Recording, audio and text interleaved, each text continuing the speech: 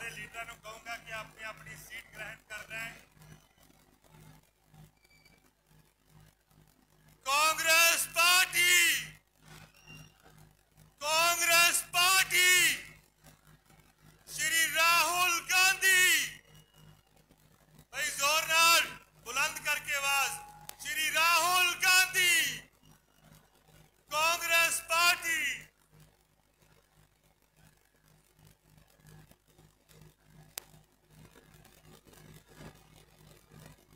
श्री राहुल गांधी जी और सरदार बलकौर ਸਿੰਘ ਸਿੱਧੂ ਜੀ ਭਾਵਨਾ ਨਾਲ ਅੱਜ ਸਾਡੇ ਜੋ ਵਿਛੜੀ ਹੋਈ ਰੂਹ ਸੁਖਦੀਪ ਸਿੰਘ ਸਿੱਧੂ ਮੂਸੇਵਾਲਾ ਦੀ ਯਾਦ ਨੂੰ ਤਾਜ਼ਾ ਕਰਦੇ ਹੋਏ ਸ਼ਰਧਾਂਜਲੀ ਭੇਂਟ ਕਰ ਰਹੇ ਨੇ ਸਾਡੇ ਤੋਂ ਦੀ ਆਵਾਜ਼ ਸਾਡੇ ਤੋਂ ਦੂਰ ਕਰ ਦਿੱਤੀ ਗਈ ਜਿਹਨੇ ਨਾ ਕਿ ਪੂਰੇ ਦੇਸ਼ ਵਿੱਚ ਪੂਰੀ ਦੁਨੀਆ ਦੇ ਵਿੱਚ ਪੰਜਾਬ ਦਾ ਪੰਜਾਬੀਅਤ ਦਾ ਨਾਮ ਬੁਲੰਦ ਕੀਤਾ ਹੋਇਆ ਸੀ ਅੱਜ ਉਹਨਾਂ ਨੂੰ ਗਿਆ ਨੂੰ 2 ਸਾਲ ਹੋ ਗਏ ਔਰ ਪਰਿਵਾਰ ਅੱਜ ਵੀ ਇਨਸਾਫ ਦੀ ਪੁਕਾਰ ਕਰ ਰਿਹਾ ਹੈ श्री राहुल गांधी श्री राहुल गांधी बहुत बहुत धन्यवाद मैं सारे लीडर से बाना कहूंगा कि अपनी अपनी सीट पे बैठ जान साथियों ਆਪਣੀ ਆਪਣੀ ਸੀਟ ਤੇ ਬੈਠ ਜਾਈਏ। ਹੁਣ ਆਪਾਂ ਸਟੇਜ ਤੋਂ ਅਗਲੀ ਕਾਰਵਾਈ ਸ਼ੁਰੂ ਕਰੀਏ।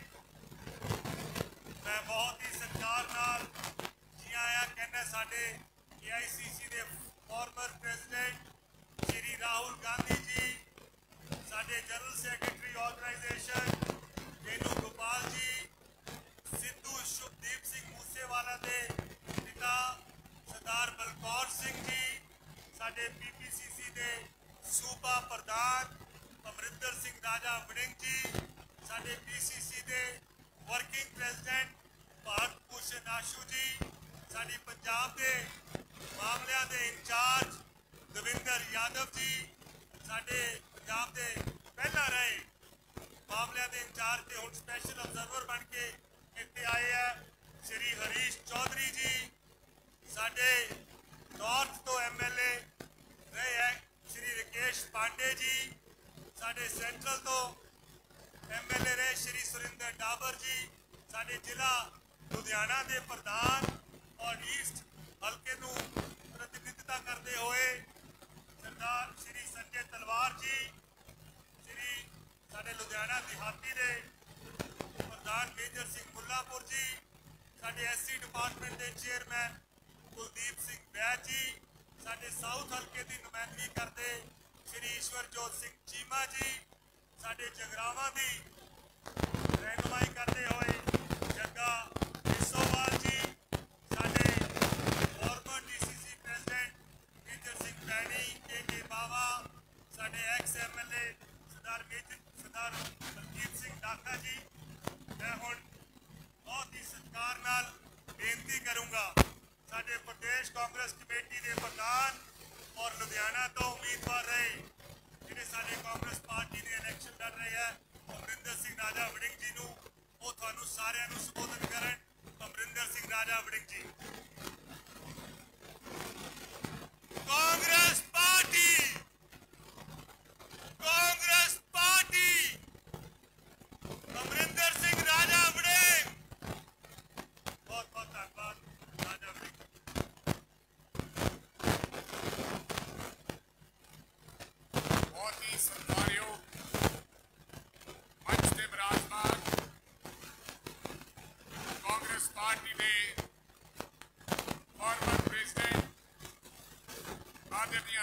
गांधी जी। बहुत ही सत्कार योग ए सी वेणुगोपाल जी,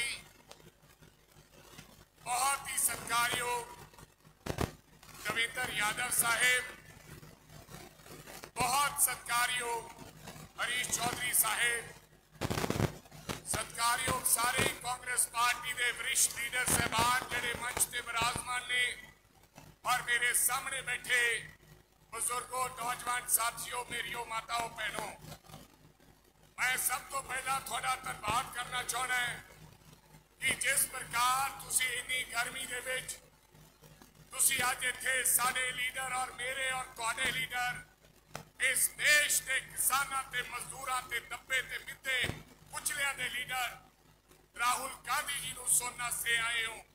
मैं थोड़ा बहुत बहुत रिनी और धनबाद करना चाहना है।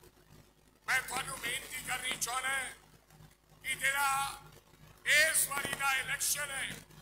बेबरा नायक, बेफैसला कुल इलेक्शन है।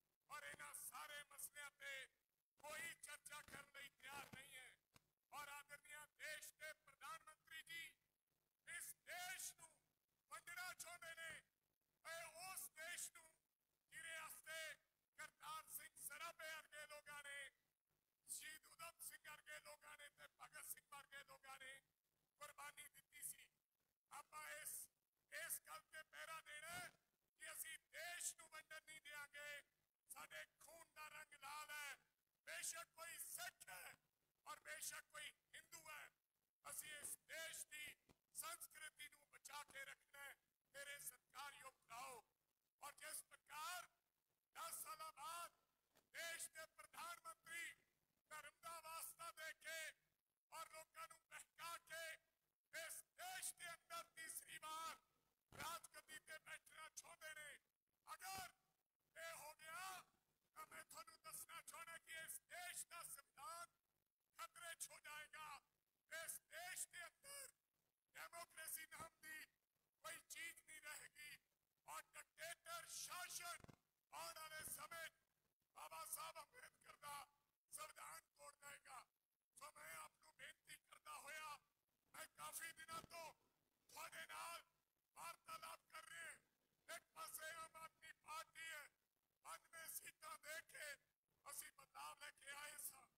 ਲੇਕਿਨ ਜਿਸ ਪ੍ਰਕਾਰ ਦਾ ਬਦਲਾਅ ਪੰਜਾਬ ਦੇ ਅੰਦਰ ਆਇਆ ਮੇਰੀ ਕੋਈ ਕਲਪਨਾ ਨਹੀਂ ਕਰ ਸਕਦਾ ਅੱਜ ਦੇਸ਼ ਅੱਜ ਪੰਜਾਬ ਦੇ ਅੰਦਰ ਬੇਰੋਜ਼ਗਾਰੀ ਤੇ ਨਸ਼ਾ ਚਰਨ ਸੀਮਾ ਤੇ ਹੈ और साडा पंजाब का मुख्यमंत्री भगवंत सिंह मान दोबारा किकड़ी पा रहे हैं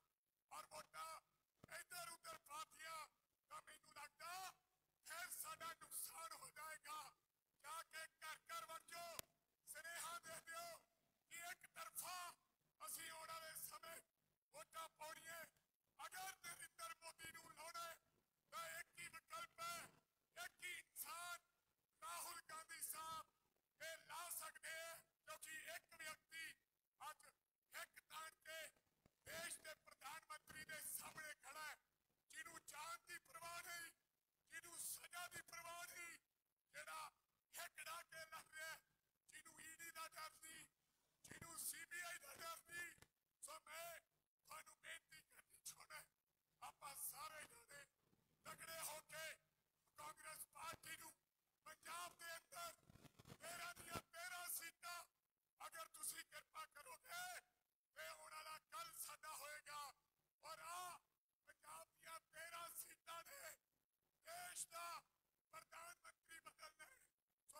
ਆਪ ਨੂੰ ਗੁਜ਼ਾਰਿਸ਼ ਹੈ ਸਾਰੇ ਜਾਣੇ ਆਉਣ ਵਾਲੀ 1 ਤਰੀਕ ਨੂੰ ਬੱਜੇ ਦਾ ਬਟਨ ਦਬਾ ਕੇ ਤੁਸੀਂ ਲੋਕਾਂ ਨੇ ਸਾਰੇ ਪੰਜਾਬ ਦੇ ਕਾਂਗਰਸ ਉਮੀਦਵਾਰਾਂ ਨੂੰ ਕਾਮਯਾਬ ਕਰਨਾ ਹੈ ਮੈਂ ਦੁਬਾਰਾ ਫੇਰ ਤੁਹਾਡਾ ਅੱਜ ਦੀ ਇਸ ਰੈਲੀ ਤੇ ਵੋਟ ਤੇ ਇੰਨੀ ਗਰਮੀ ਦੇ ਵਿੱਚ ਵੋਟ ਤੇ ਮੈਂ ਤੁਹਾਡਾ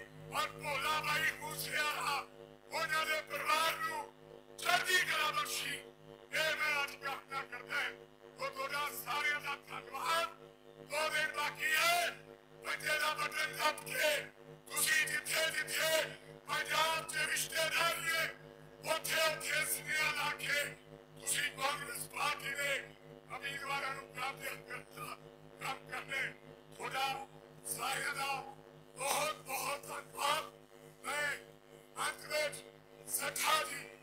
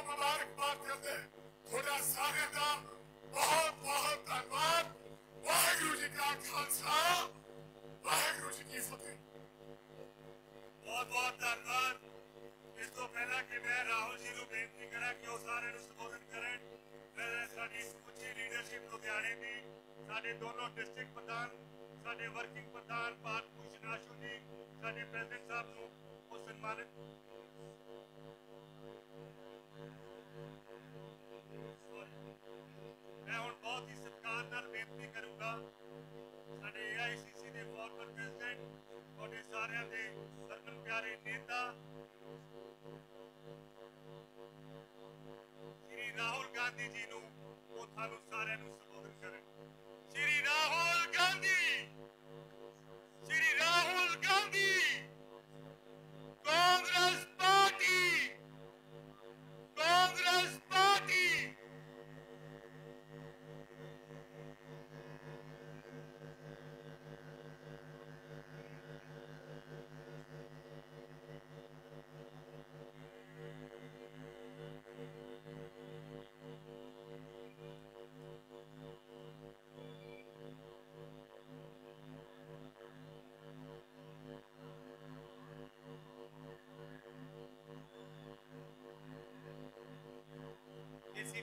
वेणुगोपाल जी,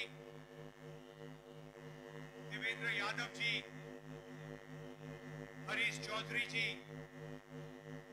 बलकौर सिंह सिद्धू जी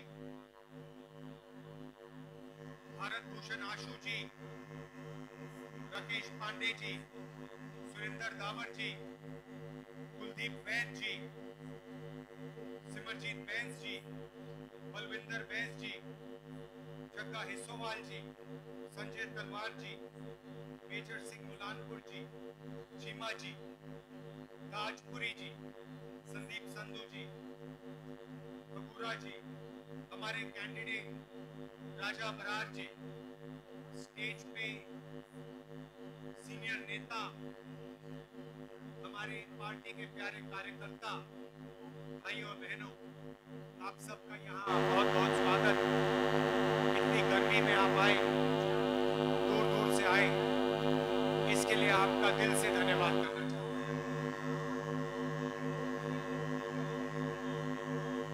ये जो चुनाव है, ये सत्तर साल में संविधान को बचाने का चुनाव। पहली बार किसी पार्टी ने खुलकर कहा है। उनके नेताओं ने खुलकर कहा है कि अगर हम चुनाव जीत गए तो हम संविधान को बदल देंगे, रद्द कर देंगे फाड़ के देंगे। ये संविधान सिर्फ़ एक किताब नहीं है। ये संविधान हिंदुस्तान के गरीबों की आवाज़ है। ये संविधान अंबेडकर जी ने बनाया, महात्मा गांधी ने बनाया, जवाहरलाल नेहरू ने बनाया, और हिंदुस्तान के सब लोगों ने मिलकर ये संविधान बनाया चाहे रिजर्वेशन हो, चाहे पब्लिक सेक्टर हो, चाहे गरीबों के अधिकार हो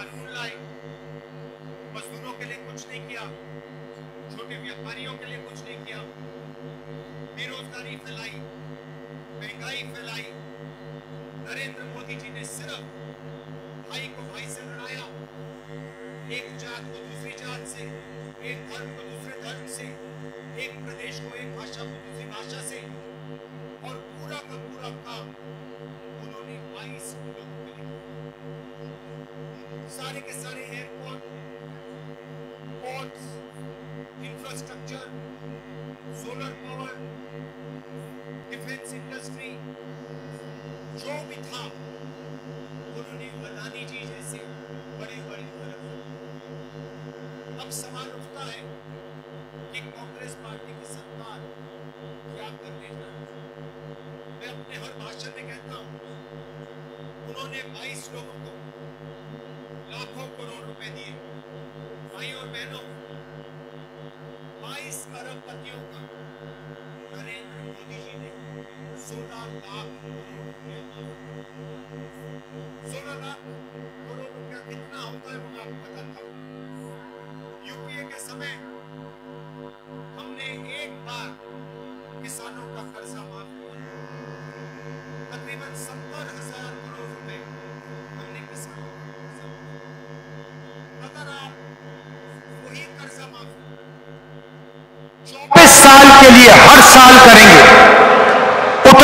पैसा नरेंद्र मोदी जी ने 22 लोगों को दिया है।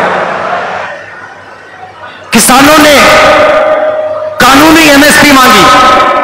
नरेंद्र मोदी जी भाषण में खुलकर कहते हैं कि कानूनी एमएसपी नहीं दूँगा। आप सही दाम मांगते हो, नरेंद्र मोदी सही दाम नहीं दिलवाते। मार्केट में कोई भी प्रोडक्ट होता है, उसका सही दाम मिलता है, उस पर रेट लिखा होता है। मगर जब किसान अपना माल बेचता है, गन्ना बेचता है, आलू बेचता है, धान, उसको कभी भी सही दाम नहीं मिलता। किसानों के लिए हम तीन काम करने जा रहे हैं। जैसे ही इंडिया गठबंधन की सरकार बनेगी, पहला काम, अगर वो अरबपतियों का कर्जा माफ़ करते हैं, हम पंजाब के किसानों का, हिंदुस्तान के किसानों का कर्जा माफ़ करने जा रहे हैं। और भाइयों, बहनों, किसानों, हम एक बार नहीं माफ़ करेंगे। हम सरकार में एक आयोग बनाएँगे। उसका नाम होगा किसान कर्जा माफ़ी आयोग। और जब भी किसानों को कर्जा माफ़ी की ज़रूरत होगी, वो आयोग सरकार को रिप्रेजेंट करेगा, सरकार को बताएगा और हम कर्जा माफ़ करेंगे। एक बार, अगर एक बार ज़रूरत पड़ी दो बार अगर, दो बार पड़ी तीन बार अगर, तीन बार पड़ी हमें कोई फ़र्क नहीं पड़ता। किसान देश की रीढ़ की हड्डी है, उसका प्रोटेक्शन होना चाहिए, उसकी रक्षा होनी चाहिए। हम किसान का कर्जा माफ़ी करके आपको देंगे। दूसरा काम, नरेंद्र मोदी जी ने साफ़ कहा कि किसानों को कानूनी एमएसपी नहीं दी जा सकती है। भाइयों और बहनों, चुनाव के बाद 4 जून को इंडिया गठबंधन की सरकार आएगी और हम किसानों को पहली बार गारंटी करके कानूनी मिनिमम सपोर्ट प्राइस देने जा रहे हैं। तीसरा काम, आप बीमा का पैसा देते हो। नरेंद्र मोदी जी ने नई बीमा योजना चलाई। 16 16 बिजनेसमैन को 16 कंपनियों को आपकी योजना का पूरा फ़ायदा मिलता है। तूफ़ान आता है, आंधी आती है, आपका नुकसान होता है। आप इन कंपनियों को ईमेल लिखते हो, फ़ोन लगाते हो, कोई जवाब नहीं आता। आपको आपका कॉम्पनसेशन नहीं मिलता। इसीलिए हम इस स्कीम को बदलने जा रहे हैं। किसान फ्रेंडली स्कीम होगी और 30 दिन के अंदर आपको जो भी कॉम्पनसेशन बीमा का पैसा जो भी आपको मिलना चाहिए, वो 30 दिन के अंदर हम आपको दिलवा देंगे। ये तीसरी बात है।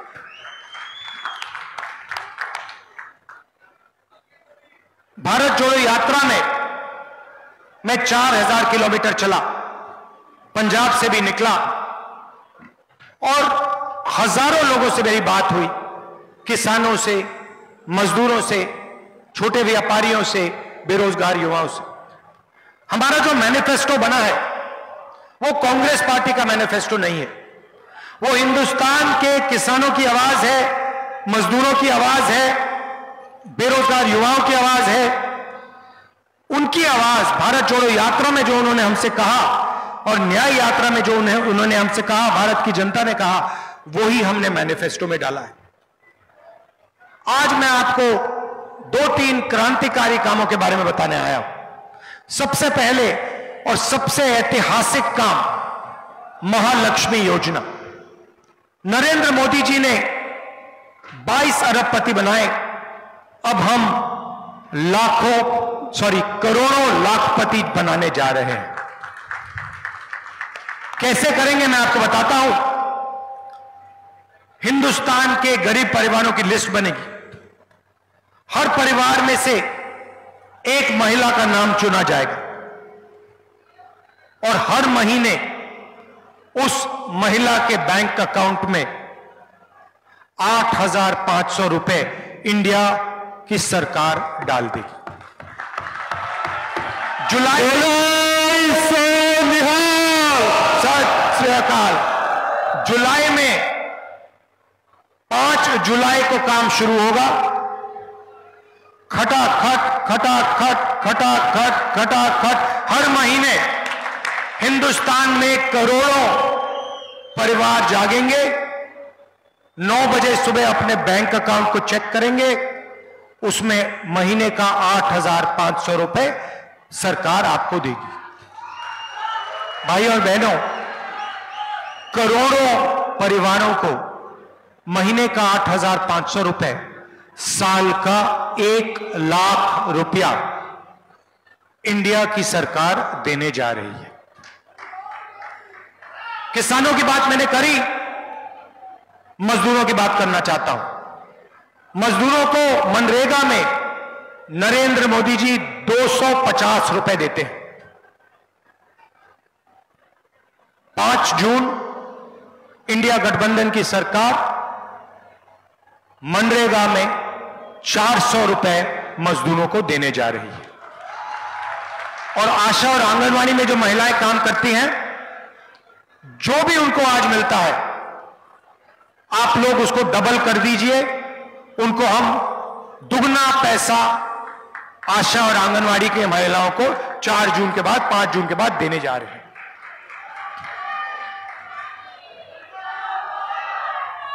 युवाओं की बात करना चाहता हूँ। नरेंद्र मोदी जी ने आपसे कहा कि हर साल दो करोड़ युवाओं को रोज़गार दूँगा।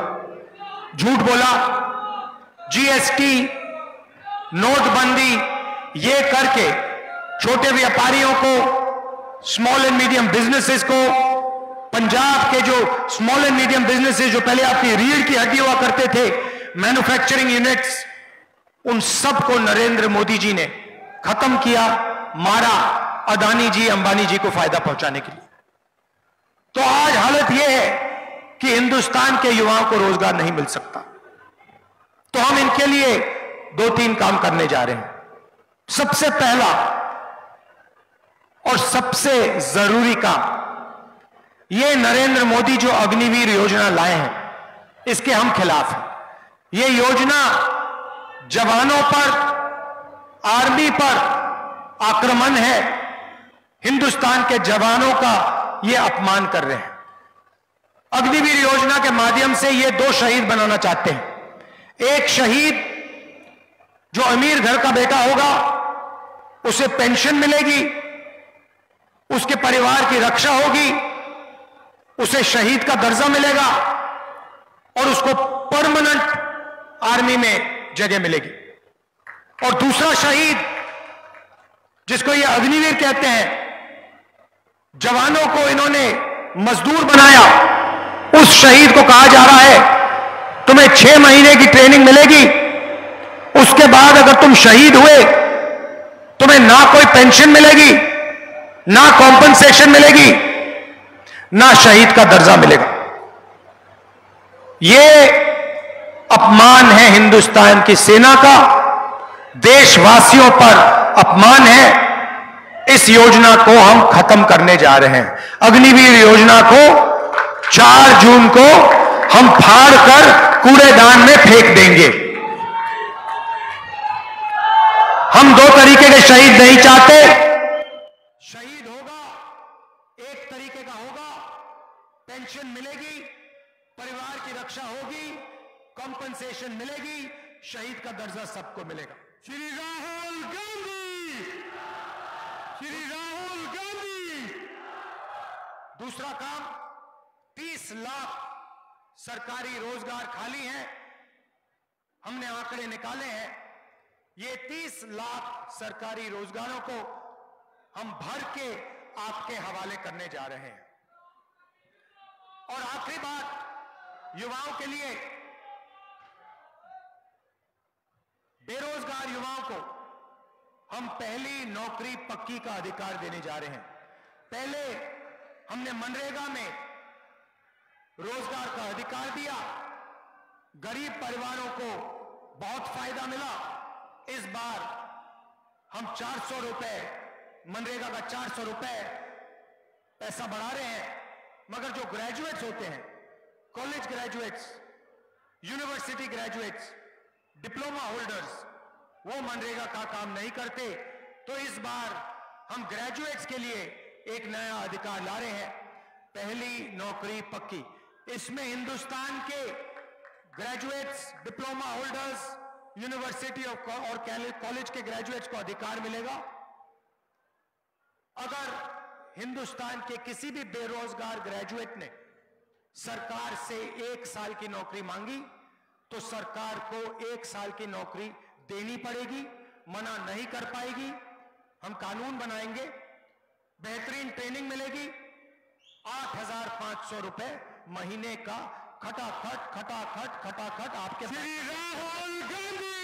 भैया भैया भाषण के बीच में मत करिए प्लीज़ आठ हज़ार पाँच सौ रुपए हर महीने खटाखट खटाखट खटाखट आपके बैंक अकाउंट के अंदर जाएगा। हिंदुस्तान के बेरोजगार युवाओं को एक लाख रुपए साल का बैंक अकाउंट में जाएगा। भाइयों और बहनों, इसके पीछे सोच है।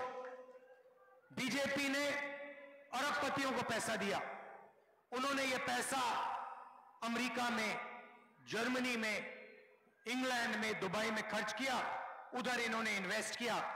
इस पैसे से पंजाब की जनता को, हिंदुस्तान की जनता को कोई फ़ायदा नहीं मिला। अब हम आपके बैंक अकाउंट में सीधा पैसा डालने जा रहे हैं। लाखों करोड़ रुपए महिलाओं के बैंक अकाउंट में जाएगा, युवाओं के बैंक अकाउंट में जाएगा, किसानों को सही दाम मिलेगा, उनके बैंक अकाउंट में जाएगा, मजदूरों को पैसा मिलेगा, उनके बैंक अकाउंट में जाएगा। यह पैसा आप शहरों में, गाँव में, हिंदुस्तान में खर्च करोगे, पंजाब में खर्च करोगे। जैसे ही आप ये पैसा खर्च करोगे अलग अलग चीज़ें खरीदोगे शर्ट खरीदोगे pant mobile phone camera scooter motorcycle जैसे ही आप ये चीज़ें खरीदोगे, हिंदुस्तान की फैक्ट्रियाँ ये चीज़ें बनाना शुरू करेंगी। और उन्हीं फैक्ट्रियों में हिंदुस्तान के युवाओं को एक बार फिर रोज़गार मिलना शुरू हो जाएगा। जो स्मॉल एंड मीडियम इंडस्ट्री है, उसके लिए हम बैंक का दरवाज़ा खोलेंगे और जो आपको कैश इंजेक्शन मिल रहा है, इन दोनों चीज़ों के साथ हिंदुस्तान की अर्थव्यवस्था एक बार फिर शुरू हो जाएगी और अब पतियों की सरकार चली जाएगी और छोटे व्यापारियों की, किसानों की, मजदूरों की सरकार आएगी और एक बार फिर देश में रोज़गार पैदा होगा। यह हमारी सोच है। आखिरी बार मैं कहना चाहता हूँ, और जो मैंने पहली बार यहाँ पंजाब में बहुत पहले कही थी कि पंजाब में जो ड्रग की इशू है वो आज भी है और वो बढ़ती जा रही है और सख्त कार्रवाई से इस इशू पर ड्रग्स पर एक्शन लेना चाहिए। फुल अथॉरिटी के साथ अग्रेशन के साथ पंजाब को ड्रग्स के खिलाफ लड़ना चाहिए। आप सब यहाँ आए इसके लिए आपको मैं दिल से धन्यवाद करना चाहता हूँ। नमस्कार जय हिंद जय पंजाब। कांग्रेस पार्टी। मैं बहुत ही भैया, एक सेकंड मुझे खत्म करने दीजिए। यहाँ आइए राजा जी।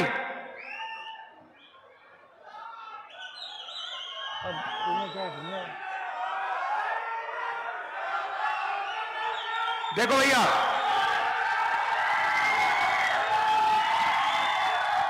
आप मैसेज समझो। इसको आपने लोकसभा में पहुंचाना है। ठीक है? ये आपका एसेट बनेगा। इसको लोकसभा में पहुंचाना है। ये आपकी आवाज़ के लिए लड़ेगा और ये लॉन्ग टर्म एसेट बनेगा आपका।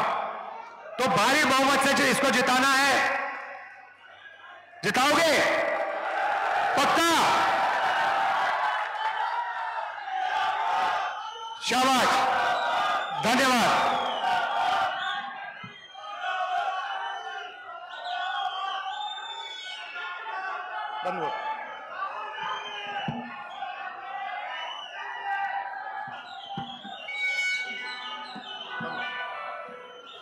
बंद ਮੈਂ ਹੁਣ ਬੇਨਤੀ ਕਰੂੰਗਾ ਸਾਡੀ ਜ਼ਿਲ੍ਹਾ ਲੁਧਿਆਣਾ ਦੀ ਕਮੇਟੀ ਲੁਧਿਆਣਾ ਦੀ ਰਿਆਸਤੀ ਤੇ ਅਰਬਨ ਕਮੇਟੀ ਮੇਜਰ ਸਿੰਘ ਬੁੱਲਾਪੁਰ ਔਰ ਸੰਜੇ ਤਲਵਾਰ ਦੀ ਔਰ ਸਮੁੱਚੀ ਲੁਧਿਆਣਾ ਦੀ ਲੀਡਰਸ਼ਿਪ ਨੂੰ ਕਿ ਉਹ ਸ਼੍ਰੀ ਰਾਹੁਲ ਗਾਂਧੀ ਜੀ ਨੂੰ ਸਨਮਾਨਿਤ ਕਰਨ ਨਾਲ ਨਾਲ सरदार बलकौर सिंह सिद्धू जी ने भी सन्मानित कर सारे इतने बहुत बहुत धनबाद कांग्रेस पार्टी। दो सौ पचानवे गाना चाहिए